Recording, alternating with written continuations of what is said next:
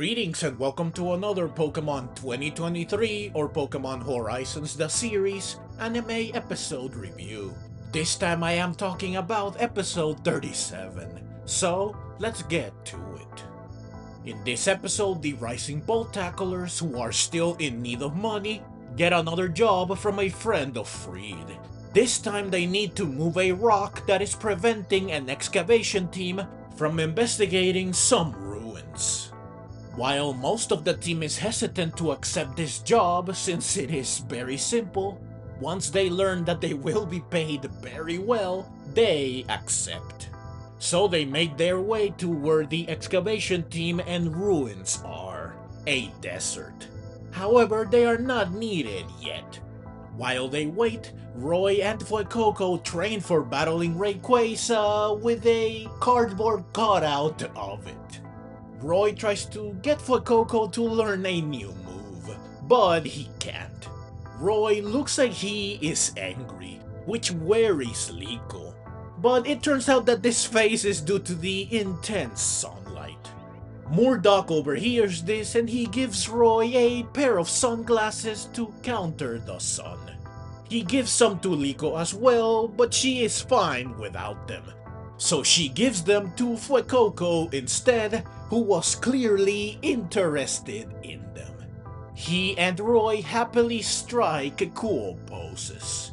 Meanwhile, Friede and the rest of the team wonder why they have yet to hear from the excavation team. They soon hear a commotion from the dig site. So Friede goes to investigate. He meets up with his friend, a professor leading the team. He reveals that a Krookodile and several Krokorok, who are seen keeping an eye on the team from beneath the sand, have been attacking them, which has delayed the excavation. However, they will be fine, since they plan to exterminate Krookodile and company, which is quite drastic, using several Pokemon, including questionably a Luxray. I don't think you want an electric type to deal with ground types. Friede heads back to the airship where he relays the news to the rest of the team. Since extermination is too much and he wants to know what's triggering Krookodile and company, he decides to investigate the ruins with Cap. Liko and Roy want to go with him. While he initially refuses since it will be dangerous, since they insist, he decides to let them tag along, provided they are careful. So they head into the ruins and they begin searching for clues. Fuecoco soon finds a Sandile who proceeds to troll and bite him. Since Sandile is the pre-evolution of Krookodile and Krokorok, Roy and Fuecoco follow it, but they end up being swallowed by the sand. This allows them to reach the lower floors of the ruins, where they find the Krookodile and the Krokorok who are revealed to be mother and father respectively, and a bunch of baby Sandile, Krookodile and Krokorok's children. Turns out that this is their nest, which explains why they have been attacking the excavation team. The Sandile soon begin to cry. To pacify them, Krookodile and Krokorok use their tails to play a tune.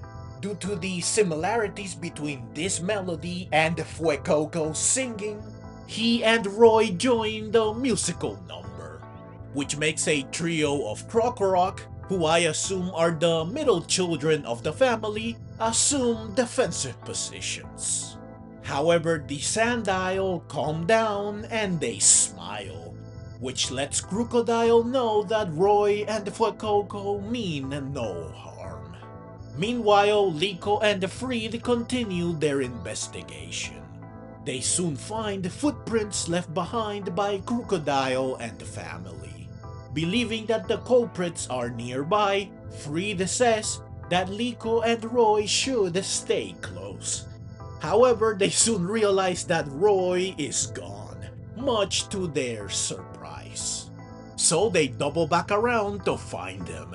Cap somehow realizes where to find Roy.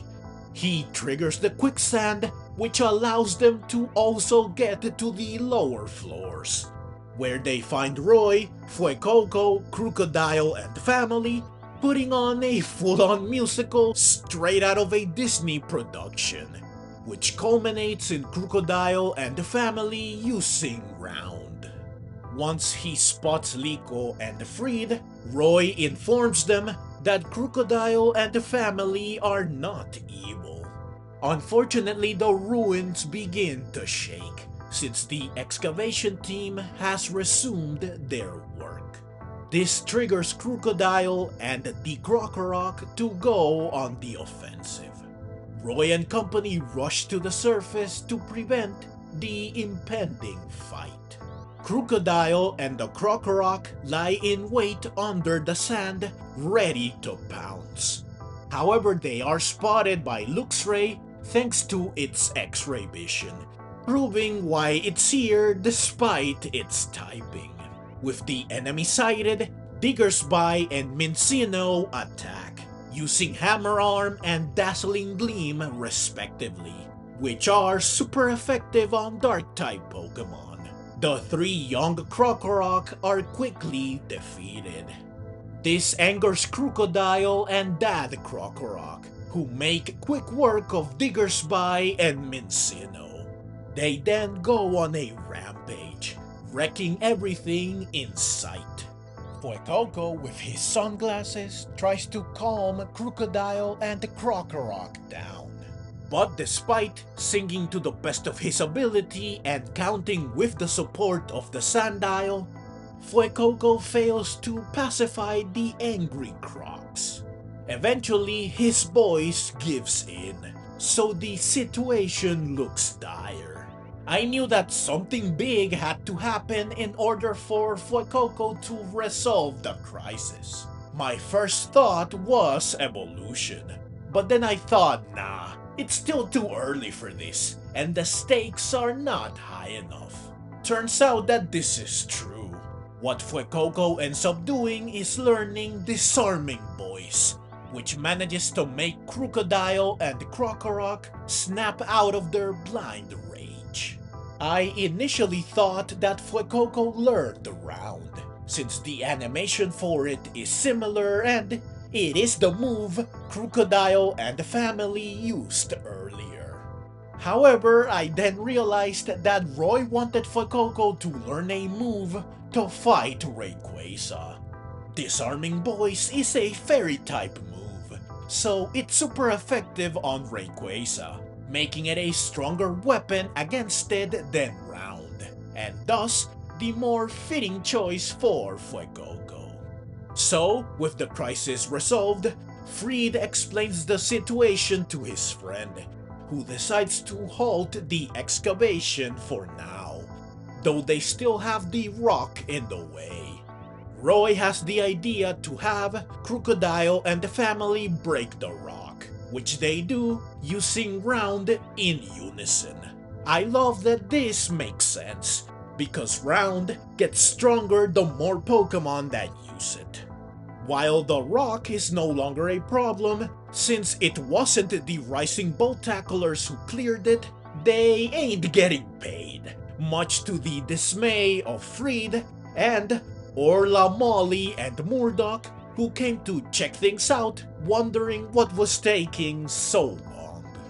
Since they are no longer needed, the Rising Volt Tacklers depart. Liko believes that even though they were sadly not paid, Roy and Fuecoco got something more valuable instead. The episode ends with Fuecoco using his new move to bid farewell to his new friends, who say goodbye back using Round. So that's the short but detailed summary of the episode. Now it's time to highlight, analyze, and comment on my favorite moments and or moments that are noteworthy slash interesting. I hate having to repeat myself, but this episode is yet another whatever episode that while fun and enjoyable, does not advance the story one bit. nor is it exciting or thrilling. At least this one had Fuecoco learning a new move, meaning that there was at least some character progression. Disarming Voice is a fitting move for him, not only because of what I mentioned earlier, but also because Fuecoco loves to sing, and his final evolution is all about singing. Additionally, I love that for this episode they chose the Krookodile family, who are based on crocodiles like Fuecoco, and they went a step further by giving Fuecoco sunglasses to match. Finally, this episode reminded me of Ash's Krookodile, which is nice. But those are my thoughts on and analysis of the episode. Now it's time to bring this review to a close by going over my overall opinion of the episode. So, overall, this episode was alright just like the previous two. Nothing wrong with them other than the fact that they are not terribly exciting or interesting, nor do they add to the story or mystery of the series. Though this one at least provided some progression for Roy and Fuecoco, making it ever so slightly more valuable than its two predecessors. Like I said in the previous review though, it's about time they step things up. Sadly, however, this definitely won't happen in the next episode, and it likely won't happen in the one after that either, which is unfortunate. Hopefully, we get a really good episode soon. But that's the review and the video. Click on the links on screen now to see my reviews of the previous three episodes. I will see you over there. Thank you so very much for watching.